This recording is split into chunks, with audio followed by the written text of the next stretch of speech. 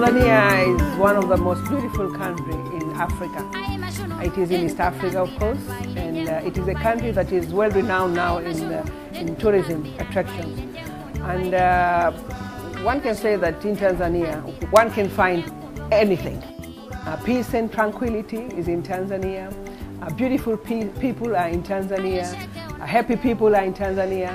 But also, Tanzania is endowed uh, with uh, abundant natural resources, you know, uh, from wildlife in the Serengeti, in the Ngorongoro, in the Mikumi down south, uh, in Ruaha, in Katavi, all these uh, wildlife. We have wildlife.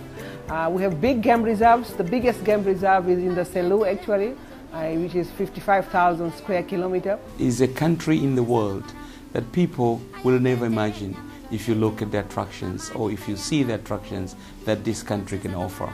Tanzania offers a variety of attractions ranging from adventure, a holiday relaxation on the beaches, historical sites. The people are wonderful, and of course, we have the highest mountain uh, in Africa, like uh, Mount Kilimanjaro, and the biggest game reserve, which is the Selous.